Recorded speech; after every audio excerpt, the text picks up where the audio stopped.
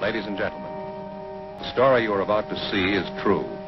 The names have been changed to protect the innocent. We need to ask you a few questions. Oh, okay. Oh, it's gonna have to wait. The movie's starting.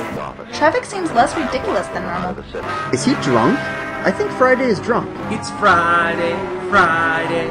Okay, that was your one time using that joke tonight. What do you say to a man with a bomb? Why do you have a bomb? Quick, Frank, let me see that cup of coffee.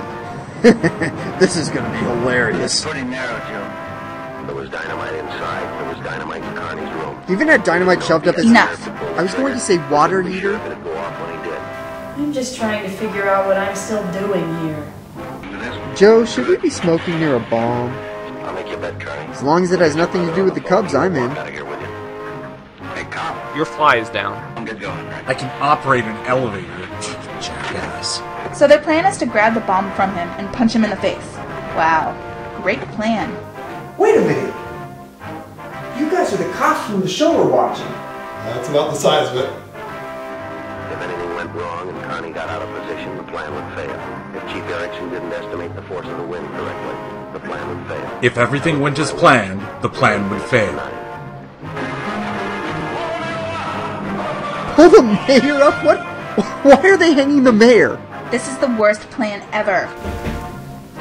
Excuse me, sir? I don't know anything.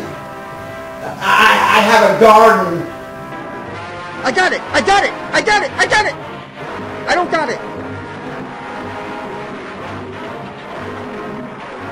You know, now that I think about it, it's, it's right.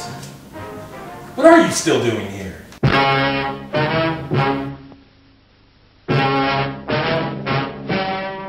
long have we been partners? A long time.